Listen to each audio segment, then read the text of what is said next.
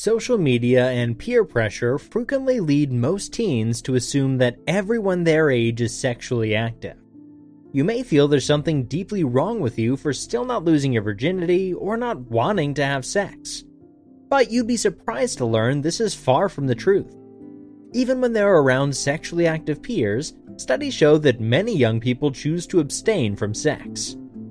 What do the numbers say about teen abstinence? Recent research shows that many young people choose to stay virgins for a while. For example, one study on adolescent boys between the ages of 14 and 17 has shown that 38% hadn't had sex yet. About 62% of them wanted to wait longer before becoming sexually active. The most common reasons were because it was against their moral or religious beliefs, and that they didn't want to get a girl pregnant or get an STD. Another US study found that millennials, which are people born in the 80s and 90s, were more likely to have had no sexual partners compared to Gen X population born in 60s and 70s. For example, in the 20 to 24 age group, around 15% of millennials born in the 1990s had not had any sexual partners since the age of 18. This is more than double the percentage of those born in the 1960s when it was approximately just 6%. However, this trend of not having sexual partners among the younger generations was more noticeable among females. So, contrary to popular belief, a sizable proportion of millennials, particularly those born in the 1990s, did not engage in sex after the age of 18. What do people define as virginity? For almost all young people, having sex means penile vaginal intercourse. Research studies have indicated that between 76 to 81% of college students considered anal intercourse as having sex, whereas 37 to 60% didn't count oral sex as having sex. Similarly, only a small percentage described deep kissing as sex, while 61% of students considered manual stimulation to orgasm as sexual abstinence. Males were more likely than females to perceive less risky behaviors like genital touching as sex.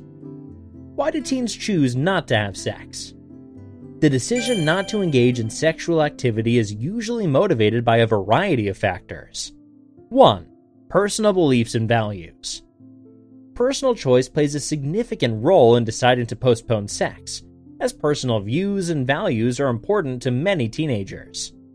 Being super focused on school or having strict religious and moral beliefs frequently shape these decisions, with some teens opting to postpone having sex until they feel more mature and ready. Research exploring sexual abstinence in adolescent girls showed that they choose to abstain from sex due to valuing themselves and waiting for a worthy partner, the roles of mothers in their lives and listening to their advice, navigating peer pressure, a lack of opportunity, such as having strict parents, and recognizing the risks involved with sex. A study from the Netherlands involving young people aged 12 to 25 discovered that the reasons for sexual abstinence change as they become older.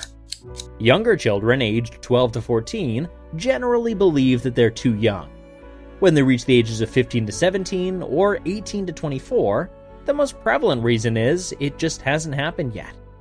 However, there are other factors to consider, such as being afraid, not meeting the perfect partner, having parental or religious views that oppose it, or having low self esteem. 2. Influence of family and friends. Aside from the personal factors, family and friends may influence a teen's decision to postpone having sex.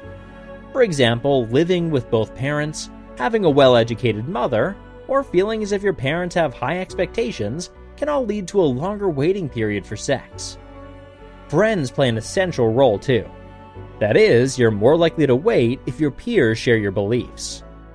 3. Self image issues. If you remain a virgin into early adulthood, this may be due to poor self image and related self esteem issues. In a survey of individuals who haven't had sex, the majority never dated, were highly timid, had body image concerns such as being overweight, and believed their appearance was a barrier to being intimate. So, when it comes to sex, don't feel rushed to do anything until you feel ready. When you know that the time is right, make sure it's done safely. But first, consider why losing your virginity is important to you. Is it to have a positive experience with someone you really like and trust? Or is it just a means to get it done with anyone, just so you can get it over with as soon as possible? If you're vulnerable with the wrong person, it may end up doing more harm than good. And although you may feel pressured to lose your virginity because many of your peers have been sexually active, do what's best for you, not what others are doing. That's because when you compare yourself to others, you'll realize that comparison is the thief of joy. Want to build more confidence in yourself? Strengthen your self worth by checking out this video here. Thanks for watching, and see you next time.